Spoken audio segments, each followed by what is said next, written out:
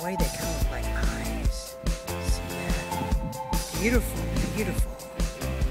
True, and this is where we are. We're at the Dayton Metro Parks.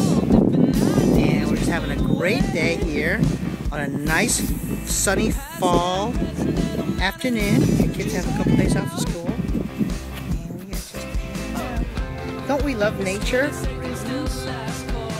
Pet moth, name moth, right, Brittany? Wow, and she just sat there and it went right on her finger. Sweet. Sweet, Brittany. You gonna send this to Hannah? Okay, cool. Let him go. Let him go. Holding on. What do you want to be with Halloween? Spencer! Spencer, hello! what do you want to be for Halloween, Spence? It's bonfire. And how about you, Brittany? What do you want to be for Halloween? Kitty cat.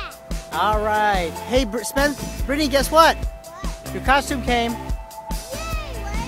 It came in the mail. So there they are on the tree here in Dayton. So let me retrieve them before something bad happens. Okay, let's get off.